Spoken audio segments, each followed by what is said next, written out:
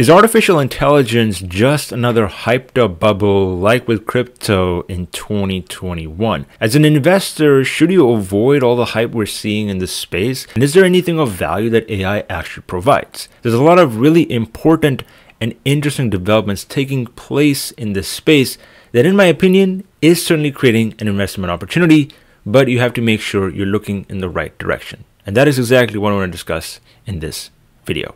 But as usual guys, before we get into it, make sure to drop me a thumbs up and hit that subscribe button if you haven't already. Now, to start things off, let's listen to what Cathie Wood has just said. I may not agree with a lot of the points she makes, but she is known to be a very good spotter of innovation in its very early stages. And the reason I bring her up is because she's recently coined this new term saying that AI revenue opportunities are actually being completely mispriced by investors, even with all the hype we've seen in equity valuations over the past few months.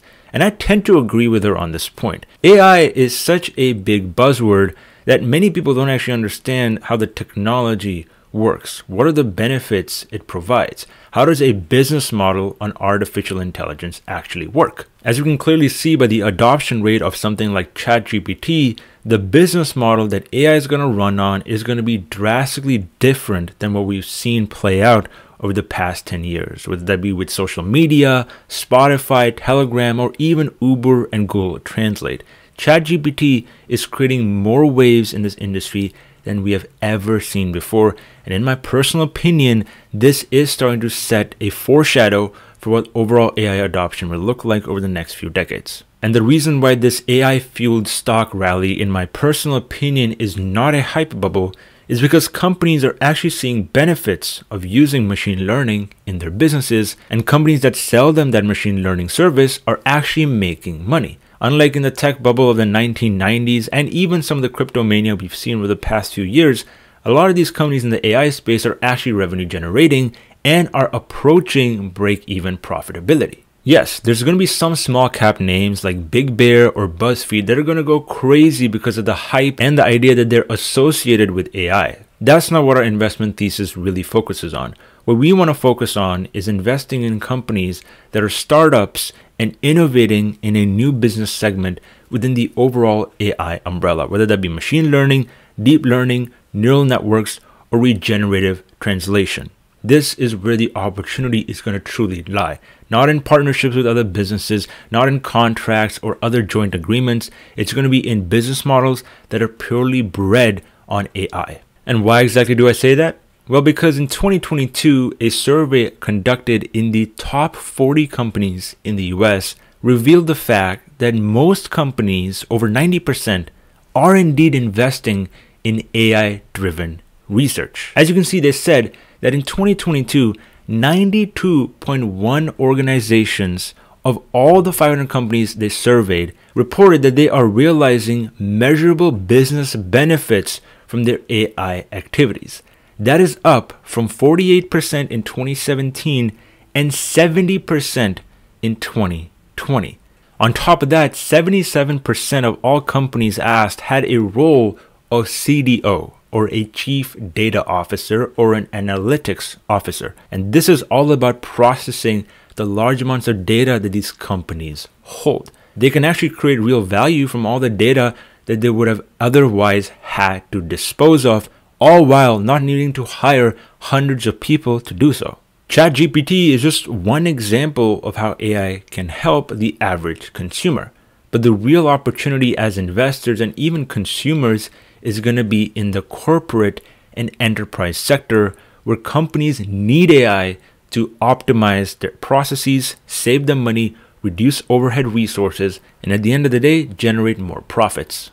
It's pretty clear that AI is not vaporware. This is real technological advancements that are benefiting some of the biggest and most profitable companies in the entire world.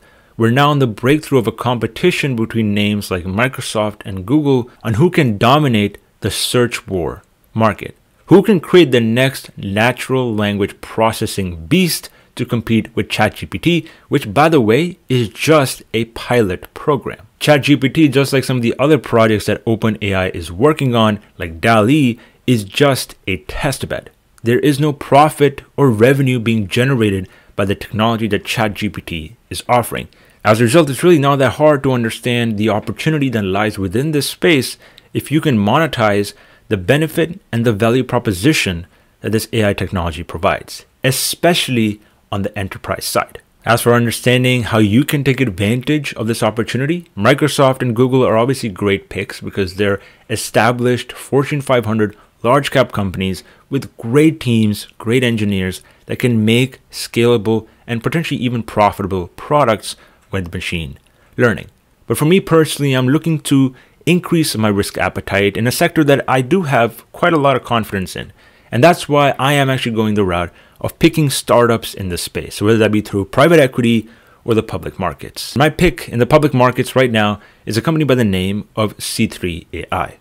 I've been an investor in this company for the past year, and although it's been a very difficult time with rising interest rates and the lack of appetite for high risk assets, it seems like the market's starting to realize the opportunity brewing in the overall AI space. C3AI is a company that offers enterprise AI software to any company in the US that has a demand for optimization of their resources. This allows any company, whether that be in the manufacturing, oil and gas, financial services sector, to integrate AI into their optimization strategy without having to hire a team of engineers to develop it from the ground up, offer all the upfront capital to build the infrastructure, or deal with the consequences of potential failure. Particularly companies in the defense space can use the package that C3AI is offering to reduce their operating expenses forecast failures in equipment, and potentially gain the trajectories for modeling hypersonic missiles.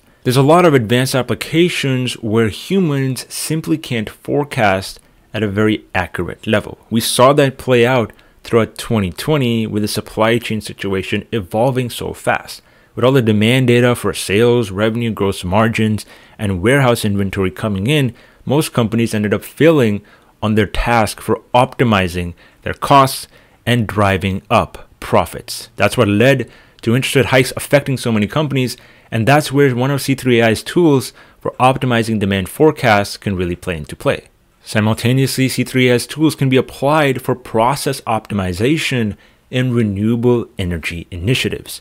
Cogeneration with a steam or coal plant versus renewable energy has been one of the most difficult processes for traditional oil and gas companies to master. This can allow them to reduce downtime for renewable resources and maximize their ROI for both, allowing them to reduce their carbon emissions without again having to hire the team to make their own AI software in house. And unlike what a true speculative bubble would entail, C3AI actually has real revenue and real revenue growth on a year over year basis they pull in around 200 to 300 million dollars of revenue on an annual basis, and that is growing at a very healthy compound annual growth rate of around 15 to 20 percent. Unlike other hype bubbles like we saw with SPACs in 2020 and 21 and the tech bubble in the late 1990s, this company has been in the business for almost one decade and they are growing revenues in a space that is often extremely complex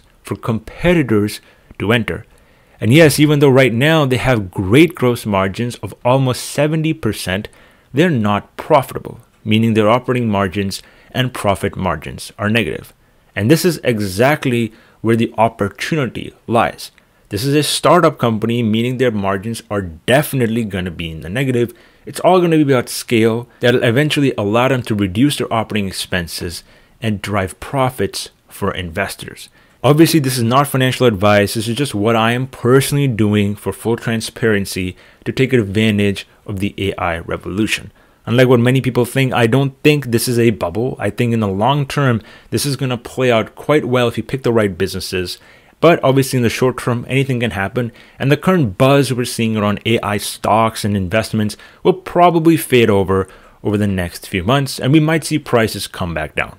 Right now, AI is dwarfing every other major category of investments from institutional traders at around 14% compared to crypto and blockchain at only 12%. This goes to show you the tailwinds we're seeing in the industry, especially with the big names of Microsoft and Google recently announcing their own products, which obviously is going to add more competition and more investments in a space that is obviously giving such a great value proposition to consumers. Things can obviously change, and you have to pick the right businesses to really take advantage of this revolution. But I just want to assure you guys that in the long term, there are good prospects for this thesis. And in the short term, obviously, anything can happen. And so it's going to be important for you to stick to your conviction and not get caught up in all the short term stuff that might be happening. And that obviously applies to any form of investment theme you're following, not just AI. But as usual, guys, it is just my opinion on the situation. So let me know your thoughts down in the comment section below. And I thank you very much for watching.